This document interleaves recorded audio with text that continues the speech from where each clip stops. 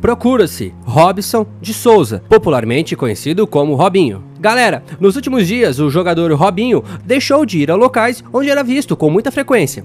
Segundo pessoas que têm contato com o jogador, ele ficou em alerta com a repercussão recente de seu caso, especialmente após o Ministério Público Federal concordar em transferir a sua pena de prisão para o Brasil. Recentemente, o Ministério Público Federal entregou à Justiça quatro endereços nos quais Robinho poderia ser encontrado, todos eles na Baixada Santista, no litoral de São Paulo.